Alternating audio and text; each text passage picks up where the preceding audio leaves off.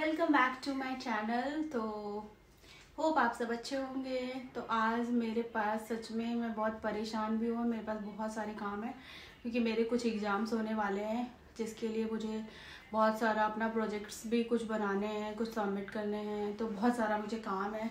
और आज का तो बहुत सारा ही काम है। कुछ एग्ज़ाम से ही रिलेटेड काम भी करना है और कुछ मतलब शॉपिंग भी करना है। फैमिली में एक शादी थी तो उसके लिए मुझे शॉपिंग करना है।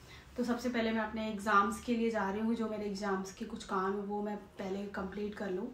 तो फिर मैं आपको दिखाऊँगी कि मैं कहाँ जा रही हूँ। और मेरे क्या क्या काम है, बहुत सारे काम है, और सच में मैं बहुत लेट भी हो रही हूँ, जल्दी से रेडी हो गई। और आप बताना है कि मेरा आउटफिट कैसा लग रहा है? मैंने काफ़ी दिन बाद जीन्स पहना है, और ये टी शर्ट पहना कि गर्मी आ गई तो टी शर्ट बहुत कंफर्टेबल होता है जीन्स के साथ। तो आप बता बताना मेरा टी शर्ट कैसा लग रहा है? वाइट के साथ ये ब्लू और येलो का कॉम्बिनेशन सच में बहुत ज़्यादा सुंदर लग रहा है। ये जीन्स मैंने वाइट लेग पहन रखा है तो ये भी काफ़ी कंफर्टेबल है।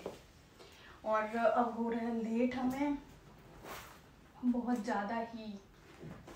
तो फ़ोन फ़ोन तो मुझे सुना रही फ़ोन से। अब फ़ोन लूँगी या निकलूँगी और आपको दिखाऊँगी कि मैंने आज क्या क्या शॉपिंग की और मैंने क्या क्या काम किया। आपको देखने को मिलेंगे आगे। में बहुत ज़्यादा धूप है बाहर निकलने लायक नहीं है बहुत ज़्यादा धूप है और आप सब बिल्कुल बाहर में धूप में मत निकलो बहुत ज़्यादा। है तो मैं आई थी यहाँ पे अपना काम के लिए। फाइनली मेरा काम हो जाए। मेरे पास टाइम बहुत कम बचा है। फाइनली एक काम तो मेरा डन हो गया।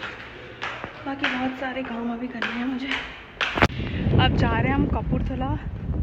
काम करने के लिए यार, मैं सच में बहुत थक गई। यहाँ पे चार चार फ्लोर पे चढ़ना पड़ा और लिफ्ट था बट मैंने सोचा जीने से चलना ज़्यादा अच्छा है।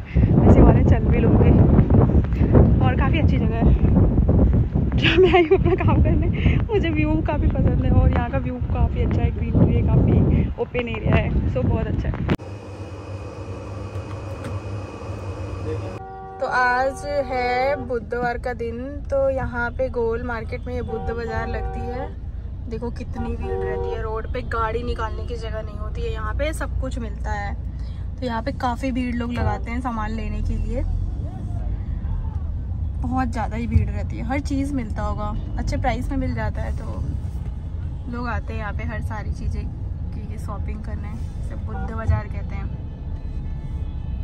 तो हम आ गए थे गाड़ा भंडार और हमें कुछ शॉपिंग करना है जो चीज़ें देनी है शादी में। तो बहुत सारी साड़ियों का शॉपिंग करना है तो सोचा गाढ़ा भंडार में अच्छी साड़ियाँ मिलती हैं तो पहले साड़ियाँ ले लेते हैं, आपको दिखाते हैं कि कैसी कैसी साड़ियाँ लिया मैंने।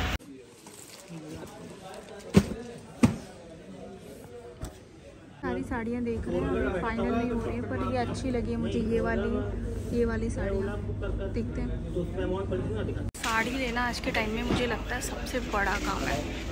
साड़ी पसंद करना इतनी सारी देने के लिए। समझ ही नहीं आता इतनी साड़ियाँ देखो कन्फ्यूज़न हो जाती है कौन सा पसंद करे, कौन सा नहीं पसंद करे।